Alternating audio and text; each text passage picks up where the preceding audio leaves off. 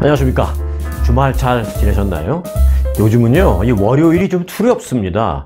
주말을 지내고 나면 여기서 큰 사건 펑 터지고 저기서 큰 사건 펑 터지고 월요일마다 세계 곳곳의 자연재해와 큰 사건 사고를 전해드리는 게 아예 주간 행사처럼 돼버려서요, 안타까운 마음 금할 수가 없습니다. 모로코의 대지진 소식이 오늘은 뉴스를 장식하고 있네요. 그 외에도 사실 오늘은 9.11 사태가 발생한 지 22년 되는 날이죠. 관련해서 새로운 소식도 좀 들어와 있습니다.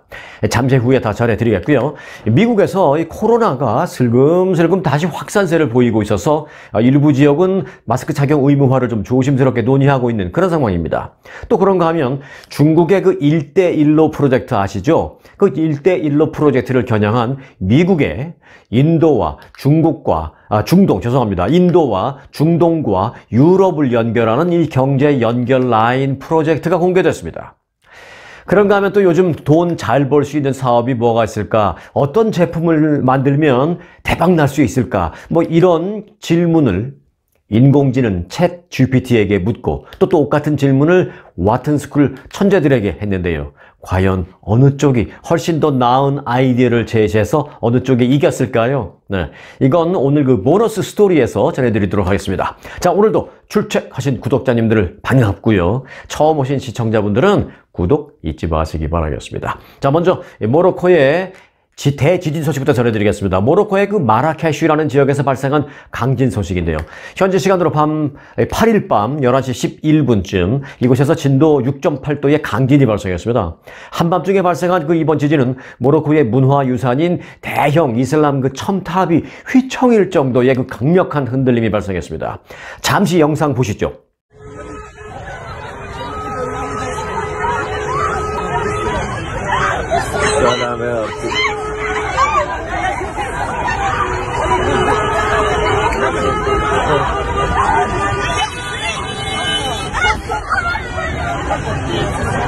북아프리카 모로코를 강타한 120년 만에 최강 지진으로 인한 희생자가 2200명을 훌쩍 넘어섰습니다.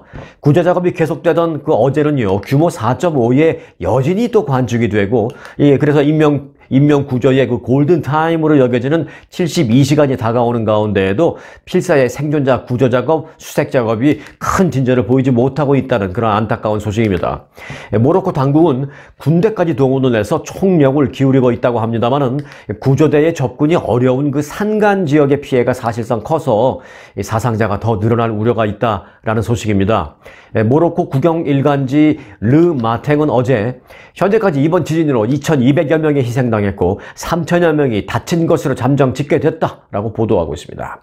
중환자의 수가 많은 데다가 또 실종자의 구조와 수색 작업이 계속 진행되는 터라 이 사상자의 숫자는 앞으로 더 늘 것으로 전망되고 있습니다. 그런데요, 더 우려스러운 점은요, 희생자가 최소 2,500명에서 지금 말씀드린 게 한 2,200명 정도인데 앞으로 더 늘어나서 최소 2,500명에서 최고 10만 명까지 도 될 수 있다. 10만 명까지도 될 수 있다는 그런 예상이 나오고 있다는 것입니다. 희생자 관련 그 예상은 잠시 후에 다시 전해드리기로 하고요. 일단은 그 구조 작업 상황부터 좀 보겠습니다. 자, 먼저 구조 작업입니다. 이 강진 피해 지역에서는요, 필사의 실종자 구조 수색 작업이 이루어지고 있습니다. 그러나 피해 지역의 그 험준한 산세와 취약한 도로 여건 때문에 구조대의 발목이 잡혀 있는 그런 상황입니다. 그래서 이제 곳곳에서 가족을 잃은 생존자들이 절규하는 목소리가 끊이지 않고 들리고 있다라는 현재 소식입니다. 구조대는 구불구불한 그 산악 도로를 따라서 어렵게 어렵게 피해 지역에 접근을 해야 합니다만은 지진이 산을 뒤흔들면서 떨어져 나온 그 암석이 곳곳에 도로를 완전히 막아버린 그런 곳이 많이 있습니다. 그래서 여진과 추가 붕괴 우려 등등 때문에 예, 더 어려움을 겪고 있다는 소식입니다.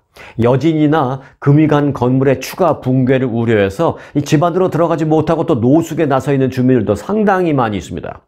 고대 도시의 건물과 벽은 지진을 견디도록 설계되어 있지 않았겠죠. 아주 오래 몇천 년 전에 지은 이런 것들 그렇게 지진 설계, 내진 설계가 되어 있지 않은 까닭에 모로코에서는 지금 전례가 없는 강력한 진동 때문에 속수무책의 피해를 당했다라는 소식입니다. 그런데 그 이 와중에도요. 그 모로코 정치인들, 피해를 당한 그 나라 모로코, 그 나라 정치인들의 지극히도 이기적인 행위까지 전해지고 있어서 정말 안타깝게 그지없습니다. 어떤 내용이냐? 현지에 오늘 천지에서 나오는 그런 얘기를 들으니까 모로코 정부가 이번 재난을 스스로 헤쳐나갈 수 있는 역량이 있다라는 것을 세계에 보여주기 위해서 해외에서 지원하겠다라는 내용이 많이 가는데 이 해외 지원을 받는데 사실 상당히 이 모로코 정치인들이 소극적이다라는 그런 분석이 나오고 있습니다. 프랑스의 일간지 르몽드는요, 모로코가 공식 지원을 그 요청한 그런 나라는 뭔가 예를 들어서 모로코가 우리 좀 도와주세요. 도와줄 역량이 됩니까? 그러면 좀 도와주세요. 라고 공식적으로 지원을 요청한 나라는 딱 네 개 나라랍니다. 스페인, 튀니지, 카타르, 그리고 요르단. 요 네 개 나라한테만 모로코가 공식 지원 요청을 했다라고 합니다. 아니 왜 네 개 나라만 해요? 40개국 아니 뭐 전국에다가 전 세계에다가 다 요청해서 누구든지 도와줄 수 있으면 우리를 좀 도와주세요 하고 빨리 협조를 받고 빨리 사상자를 구하고 또 혹시 모르는 그런 갇혀있는 그런 사람들이 있으면 빨리 생존자를 구조해 내야죠. 자, 이와 관련해서 미국 지질연구소는 이번 지진으로 인한 희생자는 3천에서 만 명, 그 사이가 될 가능성이 35%로 일단은 그게 가장 높다라고 봤습니다. 그런데 문제는요. 만 명을 넘어서서 10만 명까지도 될 수 있다. 그러니까 이거 상당히 좀 브로드하긴 한데 너무나 브로드하긴 한데 만 명 이상 10만 명 이하 그 사이가 될 가능성도 무려 21%로 전망을 했습니다. 더 문제는 10만 명이 넘어갈 확률이 있다. 라는데 10만 명이 넘을 확률 6%로 전망을 했다라는 것입니다. 희생자와 부상자 외에 이번 지진으로 어떠한 형태의 피해를 입은 그 모로코 국민들 어떠한 형태로든 피해를 입은 직간접적인 피해를 입은 모로코의 국민들은 무려 이미 30만 명 이상이 되고 있다라는 분석도 나왔습니다.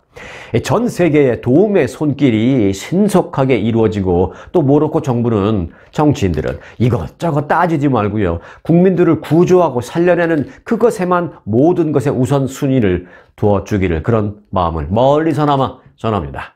자 그런데요. 사실 오늘은 이곳 미국의 9.11 사태가 발생한 지 22년 되는 날입니다. 지난 2001년 9월 11일에 발생했으니까 오늘로 꼭 22년 되는 날입니다.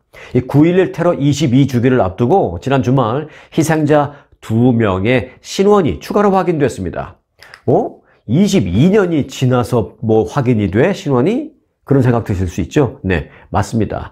사실 그 당시에 이제 너무나도 그 처참한 피해 현장에서 유해가 발견됐다 하더라도 아직까지도 신원을 밝혀내지 못한 희생자들이 적지 않다라는 이런 사실 많은 사람들이 간과하고 잊고 있었을지 모르겠습니다만은 자 이런 가운데 뉴욕시 검시관실이 DNA 검사를 통해서 9.11 당시 세계 무역센터에서 희생당한 1648번째 희생자와 1469번째 희생자 이 두 명의 신원을 뒤늦게나마 확인했다고 밝혔습니다.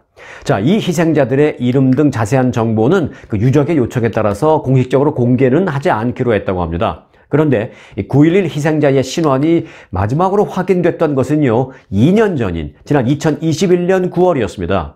그리고 이제 이번에 2년 만에 또 추가로 두 명이 확인됐는데 어, 확인된 두 명의 희생자는 한 명은 남성 그리고 한 명은 여성이었습니다. 그럼 그런데 이제 자. 왜 이렇게 20여 년이나 지나서 뒤늦게 신원이 확인되는 거냐라는 부분을 좀 생각해 볼 필요가 있는데요. 예를 들어서 뭐 신원이 지금까지 뭐 안 됐으면 안 되는 거지 20년 후에 뒤늦게 되는 건 또 무슨 이유냐라는 그런 생각이 드실 수 있는데 그건 기술의 발전 때문입니다. 아, 이번 실원 확인에는 기존보다 더 정밀하고 기존보다 더 빠른 소위 차세대 DNA 염기 서열 분석 기술이 사용됐다라는 정부의 발표입니다. 아, 그럼 이제 당시 희생자의 신원이 뭐 거의 다 확인되겠네? 거의 다 확인할 수 있겠네? 라는 생각을 하실 수도 있는데요. 또 그게 또 안타깝게도 꼭 그렇지만은 않습니다. 아, 이 같은 지금 기술의 발전에도 불구하고 9.11 희생자의 약 40%인 1100명 정도의 신원은 현재까지의 기술로도 확인을 할 수 없거나 또는 확인할 아무런 흔적도 남아있지 않다라는 점이 여전히 안타까운 그런 상황입니다. 하지만 정부는 계속적인 그런 기술 발전을 이루어서 조금만 흔적이라도 있다면 끝까지 신원 확인을 해내겠다라고 밝혔습니다. 9.11은 그러니까 아직도 현재 진행형인 셈입니다. 자, 미국에서 2000년대 들어서 가장 비극적인 사건이나 비극적인 사태 를 꼽는다면 하나는 저 방금 전에 말씀드린 9.11 사태일 거고요. 다른 하나는 아마도 코로나 팬데믹일 것입니다. 아, 그런데 여기 이 코로나 팬데믹도 어쩌면 현재 진행형일지 모를 그런 소식이 들어와 있습니다. 미국에서 코로나19가 다시 유행을 하면서 일부 학교와 일부 기업에서 이 마스크를 착용하는 사람들이 다시 늘고 있습니다. 월스트리트저널은 코로나19 확진자가 다시 증가하고 가을이 되면서 다른 호흡기 질환까지 퍼지자 각 학교와 각 회사에서는 마스크 착용 의무화를 다시 실시해야 하는지에 대한 논의가 진행되고 있다고 전했습니다. 최근 몇 주간 코로나19 확진자가 늘어남에 따라서 미국 내 몇몇 학교에서는 마스크 의무화를 잠정적으로나마 실시를 하고 있거나 아, 아니면 수업을 아예 연기하는 곳이 있습니다. 팬데믹 도 많이 들었던 그런 얘기죠. 수업 연기, 뭐 수업 중단 그런 얘기, 마스크 의무화 이런 얘기. 이게 잠정적으로나마 실시되는 곳이 몇 군데 생겨나고 있다는 것입니다. 자, 실제로 켄터키주와 텍사스주의 일부 학교들은 코로나19와 독감 등 호흡기 바이러스 감염 증가를 이유로 해서 일시 휴교를 결정했습니다. 그리고 또 이제 할리우드의 이거 LA 쪽에 할리우드의 유명한 영화 투자자 라이언스 게이트라고 있습니다. 이 회사는 산타모니카에 있는 그 본사에서 코로나19 확진자가 잇따라 발생되자 지난달 직원들에게 그 마스크 착용을 의무화했습니다. 그리고 그 밖에 다른 캘리포니아 주의 여러 업체들도 직원들에게 그 사내 이메일을 보내면서 몸이 좋지 않다면 출근하지 말라라고 공지했습니다. 예, 아직 마스크 의무화, 차, 의무화, 예, 마스크 착용 의무화 등의 그 조치가 본격적으로 확산되지는 않고 있습니다만은 더 악화되면 다시 마스크를 착용해야 하는지에 대한 논의는 본격화할 그런 전망입니다. LA 카운티 보건당국은 최근 30일간 코로나 확진 사례 73건에 대한 조사를 시작했는데요. 이런 조사는 전달에 비해서 3배가 늘어난 수치인 것으로 알려졌습니다. 네, 어, 뉴욕주가 주정부 차원에서 음력설을 공립학교 공휴일로 지정했습니다. 어? 공립학교 공휴일 음력설을 지정한 거 얼마 전에 내가 뉴스에서 들었는데 송혜콩 얼마 전에 그런 얘기 하지 않았어요? 라는 생각하신 분들 어, 모범생이십니다. 그때 그건 이제 뉴욕시였고 요번엔 뉴욕 주정부 차원입니다. 뉴욕주의 캐시 호컬 주지사가 지난 주말 이 같은 내용을 담은 법안에 서명을 했습니다. 그레이스 이 뉴욕주 하원 의원 등이 이제 추진을 한 이 개정 법안은요, 현행 법에 규정된 공립학교의 공휴일 그 명단에 설날, 음력 설을 추가하는 내용을 담은 것입니다. 특히 이 법에는요, 이 설날이 중국설, 즉 Chinese New Year라고 써 있는 것이 아니라 아시아의 음력설, Asian Lunar New Year 라고 분명하게 표기되어 있습니다. 네, 미국 일부 지역에서 통학버스 운전사, 스쿨버스 운전사가 부족해서 학교가 개학을 연기하거나 학생들이 집에 밤늦게 도착하는 그런 웃지 못할 사례가 속출하고 있습니다. 메릴랜드주 하워드 카운티의 경우에는요, 개학 첫날이었던 지난달 28일 통학버스가 1시간 늦게 도착하거나 아예 나타나지 않는 일이 속출했습니다. 학부모들은 아무리 스쿨버스 운전자가 부족하더라도 미리 대비하지 못한 그 교육감의 책임이다 라면서 교육감의 사퇴를 촉구했고요. 그래서 결국은 교육감은 아니지만 그 교육부의 고위 공무원이 사퇴하는 일까지 발생했습니다. 이 하워드 카운티는 미국의 수도 워싱턴 DC와 메릴랜드의 가장 큰 도시인 볼티모어 사이에 있는 그런 교육구인데 학생 인구가 무려 5만 7천 명인 대형 교육구입니다. 자, 보도에 따르면 미국 내 여러 학군이 이런 어려움을 겪고 있는 것으로 나타났습니다. 이 하워드 카운티 옆에 있는 프린스 조지 카운티에서는요, 스쿨버스 운전자 정원 1200명 가운데 210명이 부족한 상태입니다. 시카고시 공립학교들 역시 필요한 운전사를 절반밖에 구하지 못해서 학생들에게 대중교통카드를 제공하는 일까지 벌어졌습니다. 버스 타고 오라는 얘기죠. 그러니까 버스 타고 와, 이거 카드 줄게. 네, 버지니아주 샬럿츠빌은 새 학기에 통학버스 노선 12개를 운영하지 못하고 있습니다. 또 켄터키주의 최대 학군인 루이빌 제퍼슨 카운티에서는요. 스쿨버스 운영 차질로 인해서 개학 첫날 일부 학생들이 밤 10시가 넘어서 집에 도착하게 되었습니다. 이 학군은요. 결국 이 문제를 해결하는 동안 일주일 넘게 아예 수업을 중단했었습니다. 자, 이처럼 이 스쿨버스 운전사가 부족한 이유는 어디에 있을까? 그 이유는 아주 간단한 이유가 꼽혔습니다. 이 전문가들의 분석인데요. 전문가들은 각 학교들이 매우 오랜 기간 동안 스쿨버스 운전자들을 저임금으로 고용해온 것으로 분석된다라면서 너무 낮은 임금이 주 원인이다라고 분석을 했습니다. 어, 미국에서 스쿨버스 운전사들이 지금 저임금으로 그 지적되는 게 사실 어제 오늘 얘기가 아닙니다. 앞으로 이제 스쿨버스 운전사들은 학생들을 위해서 우리 아이들을 위해서라도 확실하게 충분한 대우를 해줘야 되겠다라는 그런 여론이 점차 확산되고 있는 그런 상황입니다. 자, 미국에서 매운 과자를 먹는 챌린지에 도전했던 14살짜리 소년이 숨지는 사건이 지난주에 발생한 바 있죠.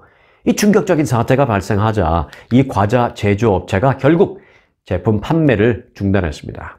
이 Paqui Chips라는 과자였는데요. 이 Paqui Chips의 제조업체인 Paqui라는 회사가 결국 생산 중단을 선언하고 소매업체들에게는 자사 제품의 그 물건을 판매하지 말라라는 중단을 요청했습니다. 파퀴는 공식 홈페이지에 성명을 내고 매운 음식을 잘 못 먹는 사람이나 잘 못 먹는 그런 어린이 그런 사람들은 먹어서는 안 된다라고 라벨에 분명히 쓰여져 있기는 합니다. 하지만 이를 지키지 않는 청소년들이 늘고 있기 때문에 소매업체와 협력해서 부득이 진열대에서 우리 제품을 빼기로 했습니다. 라고 밝혔습니다. 해당 제품 포장지에는 실제로 쓰여져 있는 문구가 이렇습니다. 챌린지를 할 수 있는데 이 챌린지는 매운 음식에 대해서 민감한 사람이나 기저질환이 있는 사람이 아닌 일반 성인을 대상으로 이 챌린지를 해야만 한다라는 경고 문구가 쓰여져 있습니다. 이 챌린지는 뭐냐면요. 이 아주 극도로 매운 이 과자를 먹고 몇 시간 동안 물이나 무슨 우유나 이런 음료수를 절대 먹지 말라. 이게 챌린지다. 뭐 이렇게 되어 있습니다. 아, 그런 게 무슨 챌린지예요. 우둔한 짓이지. 미련한 짓이지. 저 여하튼 앞서 지난 3일 매사추세츠주의 14살짜리 청소년이 이 과자를 먹고 그런 챌린지를 한다고 하다가 복통을 호소하다가 끝내 숨졌습니다. 정식 명칭이 Paqui Chips라는 이 과자는요. 세상에서 가장 매운 고추로 알려져 있는 리퍼 고추와 바이퍼 고추를 재료로 활용하고 있습니다. 특히 이 리퍼 고추라는 것은요, 이 매움의 정도를 보여주는 스코빌 지수가 220만에 달합니다. 220만이 얼마나 매운 건지 잘 와닿지 않으시죠? 자, 비교를 해드리겠습니다. 맵기로 유명한 우리 한국의 고추, 청양고추. 이 청양고추의 스코빌 지수가 4천, 높아야 만 그 사이입니다. 그런데 이 리퍼 고추는 스코빌 지수가 만이 아니라 무려 220만이라는 것입니다. 그러니까 리퍼 고추의 맵기가 단순 비교로만 한다면 청양 고추보다 무려 220배 이상 맵다라고 생각할 수 있는 것입니다. 탈나지 않는 게 이상할 정도의 이런 과자. 무슨 생각으로 이런 과자를 만들었는지 도무지 이해가 안 갑니다. 그런데 요즘 그 미국에 있는 그 한인 마트에 가면요. 라면 코너를 가면 아주 재미있는 광경을 목격하게 됩니다. 라면 코너에서 저는 아, 뭐, 뭐 저뿐만 아니라, 아니라 뭐 대부분의 그 한인 분들은 그 라면 코너에서 그저 무슨 뭐 예를 들어서 뭐 신라면이나 뭐 오뚜기 진라면 정도 이렇게 고르는데 저쪽 끝에 있는 무슨 불닭 라면이라든지 뭐 불닭 볶음면 또는 뭐 열라면 뭐 남자라면 등등등 비교적 맵다라는 라면을 골라가는 사람들 보면 대부분 대부분 난 코리안, 즉 외국 사람, 외국 젊은이들입니다. 매운 라면 이름을 보니까 보니까 그쪽에 가면 이름도 가지가지예요. 매운 라면 이름. 심지어는 뭐 불닭 라면 갖고는 안 되겠는지 핵 불닭 라면이라고 쓰여져 있는 것도 있었습니다. 자, 매운 맛의 영향. 이렇게 이제 한류의 영향을 수도 있는데, 한류의 영향으로 이 매운 걸 찾는 외국인들이 많아졌는데요. 그래서 이그 파퀴, 파퀴칩도 어쩌면 이런 한류의 영향에 좀 득을 좀 보고 싶었는지, 매워도 너무 매운 과자를 만들었다가 이번에 판매 중단 사태까지 낳고 말았습니다. 정확한 사인 분석은 안 나왔습니다만, 한 명의 또 이 안타까운 청소년이 또 희생되는 이런 일까지 발생했잖아요. 과자 먹고 사망한다는 이게 말이 됩니까, 이게. 청양고추보다 220배 매운 고추로 만드는 과자 이게 말이 됩니까? 이런 그런 거 챌린지 하라고 또 여기다 써놓고 하지만 챌린지를 하되 건강한 성인만 해야 된다. 이게 이게 써놓을 일이냐고요. 무슨 약품도 아니고 판매 중단 잘된 일입니다. 앞으로 이런 거는 시중에서 퇴출시켜야 됩니다. 자 매운 거에 빠져 있는 젊은이들 얘기를 했는데요. 이번에는 노인 정치인 관련 후속 기사입니다. 자, 미치 메코넬 상원 원내대표의 이른바 30초 얼음땡 30초 동안 아무 말도 안, 안, 못하고 그냥 멍하니 얼음땡 한 것처럼 서 있던 그 사태. 소위 30초 얼음 사태라고 불리우는데 그 사태로 인해서 고령 정치인에 대한 미국 내 여론이 악화되고 있습니다. 이런 가운데 올해 83세인 낸시 펠로시 하원 의원이 내년 11월 총선에 어떻게 생각하세요 지금? 내년 11월 총선에 다시 출마하겠다고 밝혔습니다. 낸시 펠로시 하원 의원은 상원 의원은 자신의 X, 이 X는 그 몇달 전까지만 해도 트위터 였죠. 자, 구, 구 트위터인 자신의 X 계정을 통해서 이렇게 말했습니다. 어느 때보다 우리 시 샌프란시스코의 가치를 발전시키고 회복을 촉구하기 위해서 우리를 어느 때보다 도 필요하고 있습니다. 라면서 재출마 의사를 밝혔습니다. 미국의 대표적인 거물 정치인 중에 한 명인 그 낸시 펠러시 의원 다음 선거에서 만약에 당선이 된다면 무려 20선 의원이 됩니다. 지금 현재는 19선입니다. 진보 성향의 도시인 샌프란시스코의 대표적인 정치인인 낸시 펠러시 의원은 40대 초반까지는 사실 평범한 가정주부로 지냈었습니다. 그러다가 1987년 보궐선거에서 당선돼서 그때 47살, 47살 나이에 늦가기로 정계에 입문했었는데 지금 83살까지 정치를 하고 있습니다. 19선. 아, 하원은 뭐 2년이고 그러기 때문에 지금 정확하게 곱하기를 하시면 안 됩니다. 자, 낸시 펠러시는 2003년부터 약 20년간 민주당을 지금 실질적으로 이끌어오고 있는 민주당의 실세 중에 실세입니다. 그런데 자, 아, 이참에 미국 정치인들 나이를 한번 쭉 훑어볼까요? 빠르게 가보겠습니다. 바이든 대통령 올해 80세, 트럼프 전 대통령 올해 77세, 그리고 이제 미치 매코널 상원의원 올해 81세, 그리고 방금 전에 말씀드렸던 그 낸시 펠로시 상원의원 83세. 그런데 여기 나이 끝판왕은 따로 있습니다. 현역 최고령 정치인은요, 민주당의 다이앤 파인스타인 상원의원입니다. 올해 나이 90살입니다. 90세. 올해 나이 90살.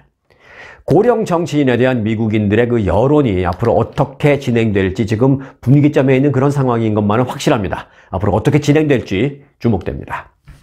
아, 그럼 이제는 나이를 떠나서 미국 정치권의 소식 한 가지를 좀 전해드리려고 합니다. 저, 지금 제가 전해드릴 이 소식은요, 사실은 상당히 중요한 소식입니다. 정치권을 넘어서서 경제와 미국의 미래에도 영향을 미칠 수 있는 그런 소식입니다. 자, 바이든 대통령이 지난 토요일 베트남을 방문해서 양국 관계 강화와 양국 경제 협력 확대를 선언했습니다. 이 바이든 대통령은 베트남 권력 서열 1위인 응우옌 쫑 이라는 서기장의 초청으로 이틀간 현지를 국빈 방문하기 위해서 지난 주말 하노이 공항에 도착했습니다. 2021년 1월 대통령에 취임한 바이든이 베트남을 방문한 것은 이번이 처음입니다. 바이든은 이번 방문에서 지난 10년간 포괄적 동반자 관계에 머물러 온 양국 관계를 최소한 이보다 한 단계 높은 전략적 동반자로 한 단계 높이는 그런 방, 방안에 서명을 했습니다. 웬만한 나라들과는 기본적으로 동맹관계를 맺지 않는다라는 소위 비동맹을 표방하고 있는 베트남이 이 포괄적 전략적 동반관계, 그러니까 포괄적 동반자 관계, 그 뭐 아주 기본적인 관계예요. 높은 단계도 아닙니다. 아주 기초적인 협력 관계가 이제 포괄적 관계인데 그 포괄적 관계를 맺은 나라는 한국, 인도, 러시아, 중국 네 개 나라뿐입니다.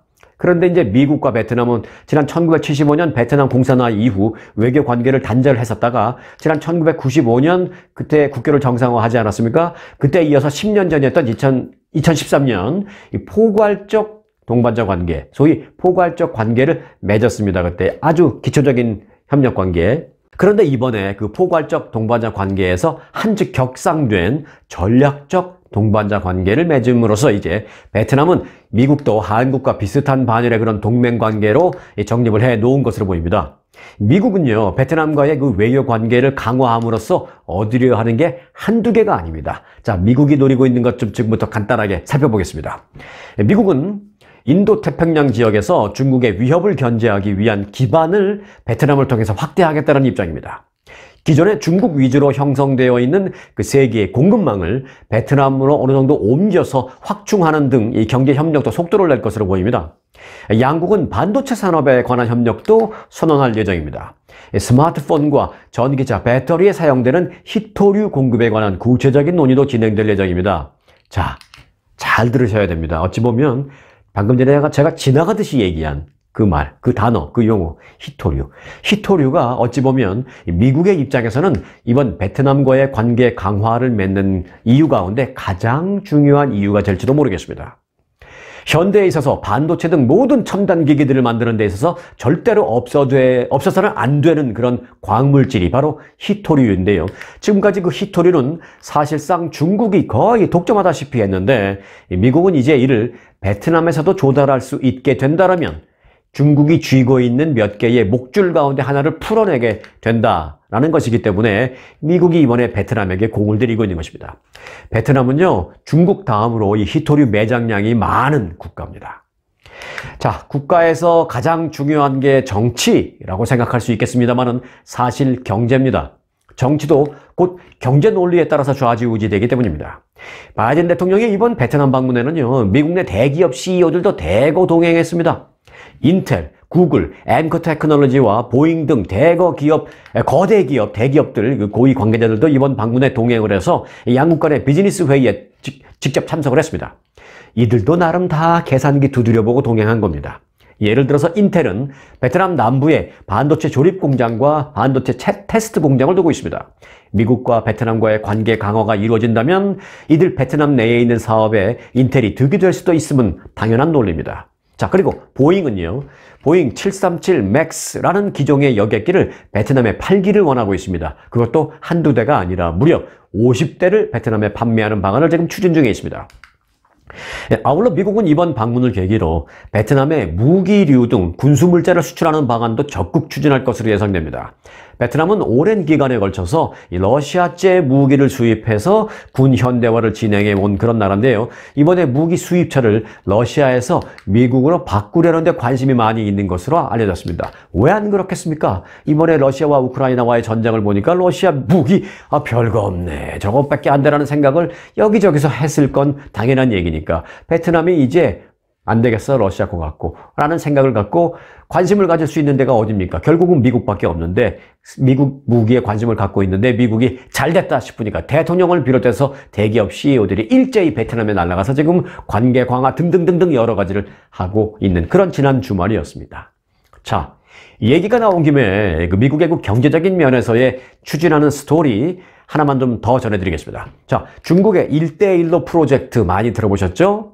잠시 후에 제가 설명 간단하게 드릴 텐데 그 중국의 1대1로 프로젝트에 맞설 미국판 1대1로 프로젝트가 출범했습니다. 중국의 1대1로라는 것은요. 하나의 대륙을 하나의 길로 연결한다라는 쉽게 보면 그런 건데 예를 들면 중국에서 시작해서 중앙아시아를 거쳐 유럽까지 연결하는 육상과 해상의 현대판 실크로드 프로젝트입니다. 그런데 미국은 이에 맞서서 인도와 중동을 거쳐서 유럽의 철도 그리고 항구 등을 연결하는 새로운 미국판 구상을 출범시켰습니다.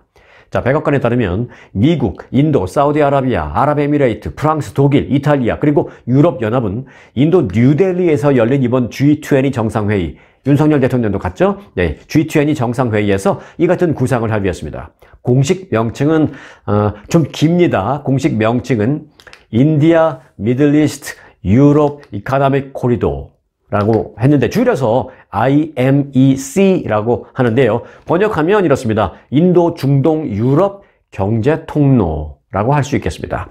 이 corridor라는 것이 복도, 통로, 회랑 뭐 그런 뜻이니까요. 회랑이란 말은 좀 어려워서 원래는 이제 한국 뉴스나 여러 가지를 보니까 이 뭐 유럽, 중동 뭐 경제 회랑 이렇게 되어 있는데요. 회랑이란 말이 미국에 사시는 우리들한테는 좀 어렵잖아요. 그래서 제가 통로라고 좀 제 나름대로 바꾼 겁니다. 그러니까 그렇게 이해해 주시기 바라겠군요. 회랑이라는 뜻도 이제 복도 통로 그런 뜻입니다. 근데 좀 옛날에 오래전에 쓰던 그런 얘기죠. 자, 미국은 해당 나라들과의 설립을 위한 협력을 약속하는 이 양해각서 MOU도 이미 체결을 했습니다. 아, 시진핑 중국 국가주석이 불참했고 대신 리창 총리를 대리 참석시킨 이번 G20 회의에서 미국이 중국 견제를 위한 또 하나의 다국적 이니셔티브를 발족시킨 것입니다. 미국이 주도하는 이 미국판 1대1로가 일단 그, 그 협력에 대한 각 국가 간의 협의는 이루어졌습니다. 합의는 이제 앞으로 실질적으로 어떻게 추진될지 주목되는 부분입니다. 자, 이어서 보너스 스토리 전해드리겠습니다. 오늘 보너스 스토리는요, 제가 제목을 이렇게 지어봤습니다. 돈 벌려면 챗 GPT에 물어봐라 입니다. 조금 더 설명을 드리면 돈 벌고 싶다면 챗 GPT에 먼저 물어봐라 입니다. 자, 인공지능 AI의 간판 주자인 챗 GPT가 사업 구상에서도 세계 최고급 경영대학원 학생들을 능가했다라는 그런 판정이 나왔습니다. 월스트리트저널은 펜실베니아대 경영대학원 와튼 스쿨 학생들과 챗 GPT-4 그챗 GPT-4가 제시한 그 신제품 구상을 분석해서 이런 결론을 얻었다고 보도했습니다. 과제의 내용은 대학생들에게 50달러 이내의 가격으로 50달러가 안 되는 50달러 이내의 가격으로 세상에 통할 수 있는 새로운 상품이나 새로운 서비스를 제안하라 라는 것이었습니다. 먼저 인간을 대표하는 선수로 나선 와튼스쿨 학생들이 제시한 새로운 사업 200개를 임의로 선택했습니다. 챗 GPT에는 아이디어 100개를 먼저 만들게 했고요. 그리고 나서는 과거 실제 성공했던 사례를 몇 가지 소개를 해 준 뒤에 이를 통해 훈련을 좀 시키고 그리고 나서 추가로 100개를 더 만들어 보라고 지시했습니다. 이 AI를 대표하는 챗 GPT에서는요. 어떤 상품들이 나왔느냐? 접이식 빨래통, 기숙사 요리 키트, 강의실 의자에 깔 인체공학적인 방석 등 새로운 사업 구상이 본물 터지듯이 나왔습니다.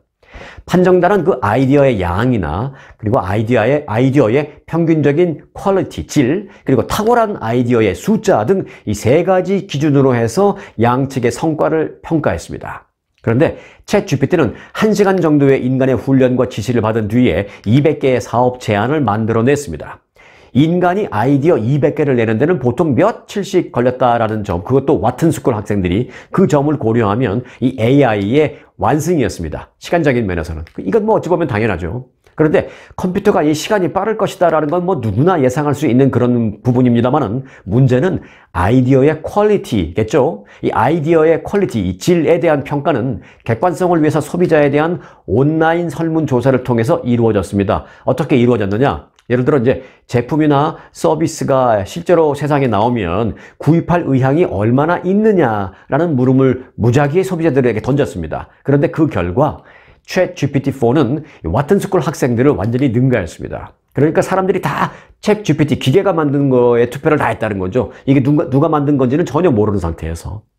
인간이 내놓은 제시물은 평균 구매 확률이 40%로 산출됐지만 챗 GPT의 초기 아이디어는 47% 그리고 성공 사례를 입력한 후에 기계가 AI가 내놓은 그 사례는 챗 GPT-4죠. 그러니까 그 사업 구상은 평균 구매율이 49%까지 높아졌습니다.